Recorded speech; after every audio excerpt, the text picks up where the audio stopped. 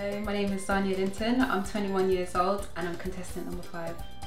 Um, five words to describe myself. I would say creative, fashionable, helpful, passionate, and warm-hearted. A little bit about my background. Um, my mum's from Trinidad and my dad's from St Michael, Barbados. I was born here and I'm currently studying to get my BSc in Biomedical Sciences and to hopefully qualify to become a dermatologist. I would say a few of my hobbies is modelling. I started modelling at a young age, so it's always been my passion. Also, reading fashion articles because I like to keep up with the latest trends.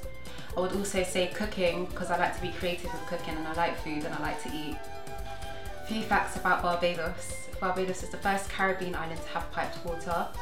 Also known for its high literacy rates, rating at 97% and also known for its white sandy beaches from its coral formation. If I were to be selected as Miss Barbados UK, I would use this opportunity to help inspire young people like myself here and in Barbados to go after their dreams and believe in themselves.